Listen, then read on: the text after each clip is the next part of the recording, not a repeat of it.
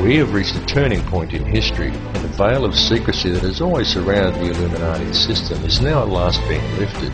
Now is the time for the people of the world to look after each other and not the system. It really is that simple, and the world is almost on the verge of that happening now, because a new awareness is growing amongst the people. More and more are waking up every day, and they are spreading the word, as we all should do, as loudly as we can, because the masses who are still sleeping really must be woken up to what is occurring. There is quite literally nothing more important than this issue, and the plan goes even deeper than the international money cartels. There truly are deep and dark forces at work controlling things here, but it is through the manipulation of the money system that global control is maintained, and it is that system that must first be addressed. It's all very well for us to talk about all of this stuff and to continue learning and gathering more information about it, but the time for merely gathering information is now past. What is needed now is action, and it is needed very quickly because the prison door is swinging shut. Please understand that these people plan on depopulating at least 80% of the world, and that most likely includes you. This is not a joke, and this is not some wild conspiracy theory, it is the absolute truth, and this matter seriously needs to be addressed. All the information on how they intend to do this is available in the public domain, though of course you are not hearing it reported by the mainstream media because the money cartels own the mainstream media.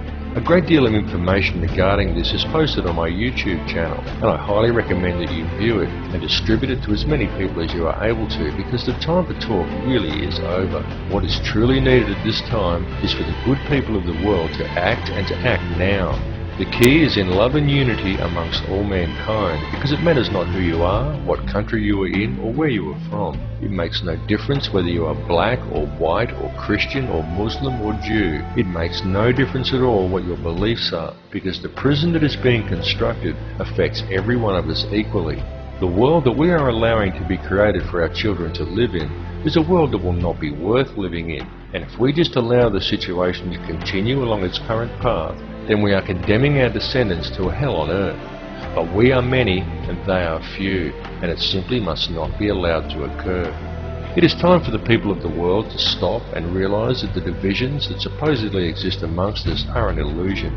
There is no division. It's time for everybody to understand the truth of this. It's time to approach the world and each other in a state of love rather than in a state of fear. It's time for you to tap into the source and realize your own potential. And it's time for us all to collectively stand together and address the root cause of the problem. And all of you need to spread this information. It's very important that you do. Burn DVDs and hand them out to people. Bring the conversation up at every opportunity. This issue is too important to ignore, and if you're not part of the solution, then you're part of the problem. There's simply no middle ground here. Bring all the truth factions of the world together under one banner, the banner of human unity. Set aside your differences and work out the finer details later. Regardless of who or what is the ultimate intelligence behind this plan for global control, everyone needs to understand clearly that the fascist New World Order that is being introduced and the mass depopulation that is occurring across the globe is being implemented by the criminal banking elite. The money system is the head of the snake. Cut the head off the snake and the rest will wither and die. The time for talk is over and the time for action has come. It's now time for the people of the world to stop complying with the system. Everyone. Stop complying with it and you will shut it down. And the best form of non-compliance is love. Approach every issue with love, rather than obediently following orders given to you by a commanding officer. And rather doing what is right for you personally, do what is actually right. And if a leader wants to send you to war, say, no sir, I won't murder other people's children for you anymore, you'll have to go and do it yourself. You will be called a coward by the military, but such is not the case, because it's much easier to fight for principles than to live up to them. And it takes a far braver man to stand up for what is right and spit in the face of authority than it does to blindly follow orders due to fear of the consequences. Understand that we are all one, and the key to real change and unity in this world lies with love.